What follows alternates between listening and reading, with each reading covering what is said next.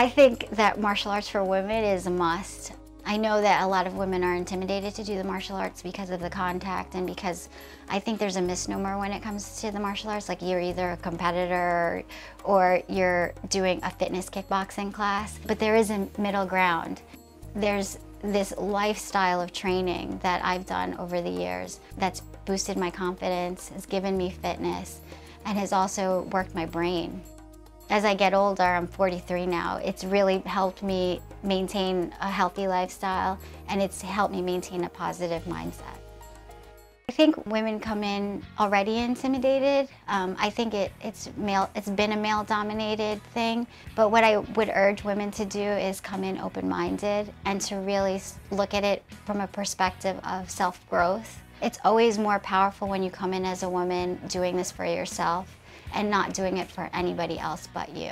I see a lot of women come here with their friends or their partner and they're doing it for the other person. I would love it if women came in here to learn how to protect themselves, learn how to get fit, and to really just learn something new. It's really a lot of fun, you know, and I think if women gave it more of a chance, they could see how awesome a workout, and not even just that, but just like a learning tool it is the more women who've come into the art have really been the gateway for other women.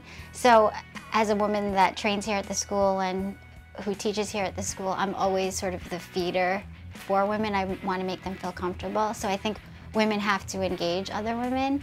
So it's grown in that aspect. And they've also seen female figures out in the sport like Ronda Rousey, who've really sort of generated the popularity and sort of the I can do it too mentality.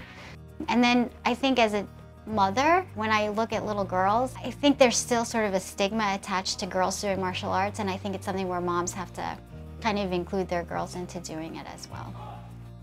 My name is Kathy Sakoulis. I'm the program director here at Progressive Martial Arts. I also teach the youth classes here. For more information about training at Progressive Martial Arts, please give us a call at 718-461-0700 or visit our website at progressivemartialarts.com.